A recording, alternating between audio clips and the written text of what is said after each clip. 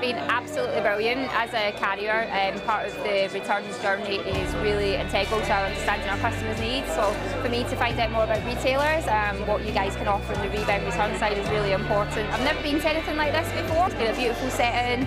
Um, speakers have been really informative, really interesting. I'm having a great day. It's great to meet with other retailers. Um, to listen and to learn to uh, what they're doing really. It's great that I can actually come to an event and learn things rather than maybe it's a space that we're already working in. Content's been spot on. I loved the Accenture presentation this morning. I thought it was really on point in terms of how important returns is and also how you can use it as a value creator. Today's sessions really amplified the, uh, the opportunity that rep returns represents. I think that's great. There's a whole lot of networking with some really great people. It's been a really, really good day.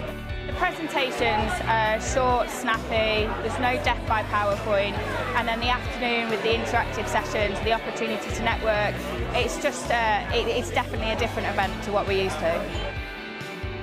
Returns now are clearly, clearly getting higher and higher on retailers' agendas, no doubt.